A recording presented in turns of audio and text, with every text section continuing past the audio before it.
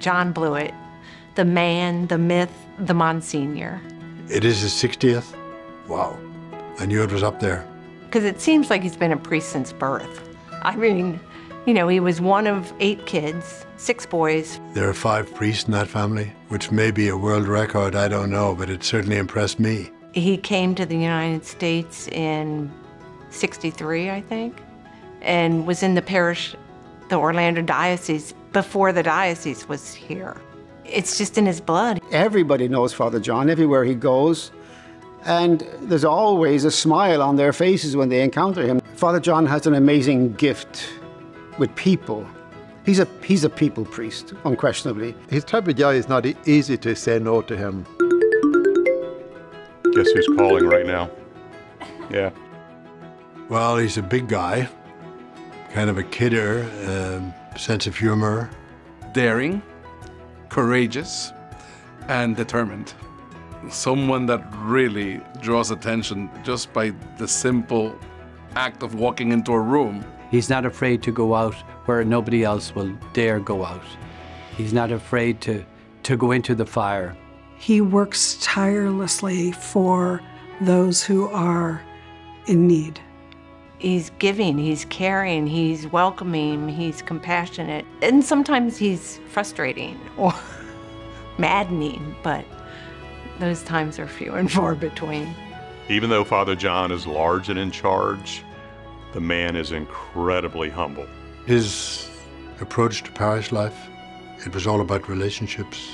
He always made the people the center of everything. This was a community, and he was the pastor. And he took that role extremely seriously. There wasn't a parishioner he didn't know. And I think that's something just like the Father knows us all by name. Father John does too. He finds out what your gifts are and he puts you to work. He just calls you to do the work of, of God. And that's what true Eucharist is. All Father John had to do was take his huge paw and put it on your shoulder and say, I got something you can do for me. And everybody would say, What is it? How can I help? He loves his faith, he loves his priesthood, and he loves his people. I have seen and witnessed firsthand, time and time again, people coming up to him and saying, Father John, do you remember me?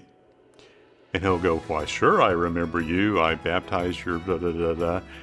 And the second part of that equation is, Father John, you were there for me at a time that I needed help the most. That parish was so alive and still is. I found really a tremendous home here with Father John in this community where the Eucharist is at the center of everything. He set aside the early part of Saturday in order to visit people. And he'd show up at your door at nine o'clock in the morning eh, where people would be in their pajamas and stuff like that. He knocks on everybody's doors. He had big, big shoes. If he got his foot in the door, then that led to a nice visit. And it's the kind of thing that people don't forget. He is truly the hands and feet of Jesus. With the development of the Pathways to Care facility, which is a respite care center for homeless veterans and homeless adults, he worked endlessly for years to get that facility here in Seminole County. Anything he puts his mind to, it happens. There's no obstacles. He pushes everything aside and he gets the job done. Pathways to Care, I think, was, was a novel idea at the time. In order for that to happen, he pushed a lot of people in, in a lot of different directions, and he wasn't afraid to ask not just Catholics, but all kinds of people to get, to get involved. The Gospels are so full of Jesus talking about how we are to go out and s- to reach out to the lost. I'd say Father John spent a great deal of his life bringing people back. He was a rescuer, always. He has been entrusted with the gospel, not only to proclaim it, but to also put it into, into practice, to put it into action and draw others to, to be engaged with the commands and the teachings of Jesus. So when you look at the Beatitudes, you're looking at John Bluett. God only knows what he can do next, but he, you know that whatever he puts his hand to is successful. All we wish him is the best, that he can enjoy his life and his priesthood and continue to do what he does and what he has done for all his life to love the Lord and love the people. He stands out in my life as one of the great leaders uh, of the Christian community.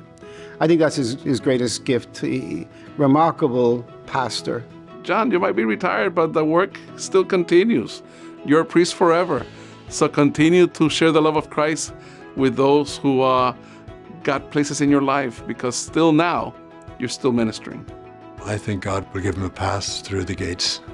Thank you for everything that you've provided us as a parish community. And I am so excited to consider you a cherished friend. I love Father John, and I know you do as well. I don't think I can explain, now I'm not going to be able to talk, what my friendship with Father John means. He, uh, in some of our worst times, he was always there. It didn't matter if it was day or night. If we needed him, we called him, he was there. I hope that he is given the grace and the strength to continue because if he's gone, it will leave a huge hole in an awful lot of people's hearts.